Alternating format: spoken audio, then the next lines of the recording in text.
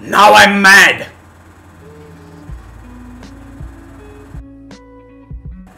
Wonder Egg priority. What? What does that even mean? We have no clue, but we're gonna talk about it. Wonder Egg Priority is an original Cloverworks series that features Ai Ohto, and she finds an egg as she's walking along the road. And then the series goes from 0 to 100 real quick. At its core, the series is about trauma. It's a story about these four girls, including Ai, and their mental illnesses and struggles in life. These dark and negative themes are displayed with super saturated, colorful, and surreal visuals. This strange juxtaposition seems to work somehow. We see people hiding their issues and bearing with the pain and just being all smiles and positive. The show personifies these aspects. We see the dark reality of these situations coated with a colorful, trippy mask. Spoiler alert! That's gonna be our t shirt, by the way. It's just gonna be me Okay, let's talk about some issues that are discussed in this series. YouTube, don't demonetize us, please. We earn nothing from YouTube anyway. This is gonna get dark.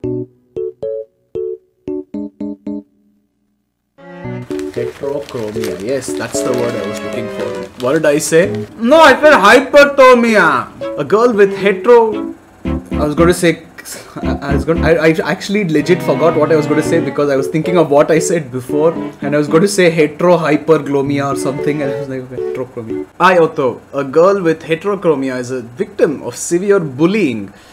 Finally, a girl named Koito shows interest in her, and they develop a bond. Now, Koito is also a victim of severe bullying, and she ends up committing suicide. This event kind of breaks I mentally, and she becomes a shut-in. She deals with a lot of issues like depression and loneliness and trauma over her friend's death. Oh, well, uh, on to the next incident. Rika used to be a popular idol and she had a fan named Shemi. Now Shemi was a stan and used to visit her every day and give her lots of money. But then Rika found out that Shemi used to sell stolen goods to get her the money and she calls her fatty. This leads to Shemi developing an eating disorder which leads to severe malnutrition and she ends up dying. Because of this and some family issues, Rika starts self-harming and falls into depression herself. And then we have Momoe who is very insecure about her appearance and being mistaken for a man. And finally, Neiru is a test tube baby who is dealing with her sister's death. There's a lot of death in this show, isn't there? Now, there's so much to uncover here, and the story is very complicated. But these girls basically help people that break out of the wonder eggs. They're mostly suicide victims that went through severely traumatic experiences. The girls help them by fighting personifications of their trauma and other smaller monsters like See No Evil and Haders.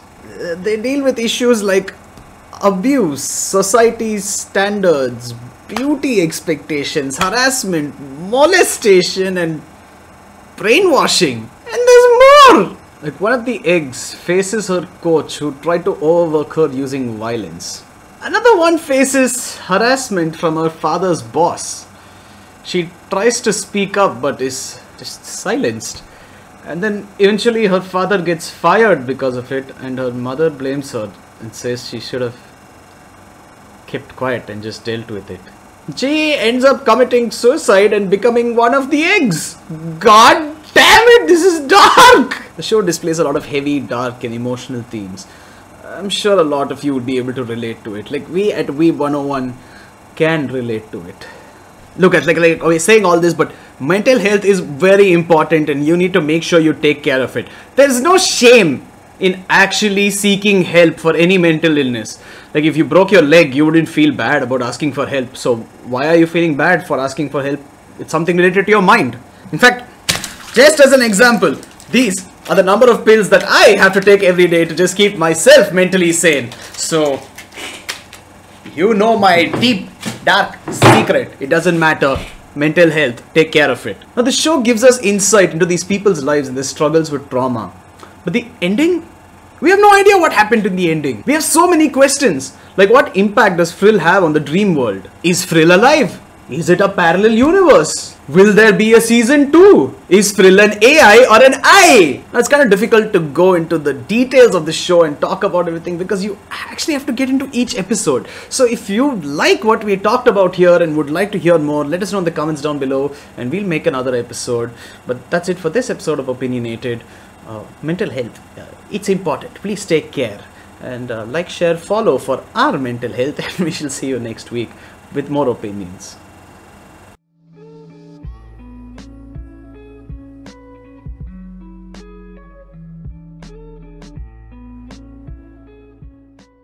mental health uh, it's important please take care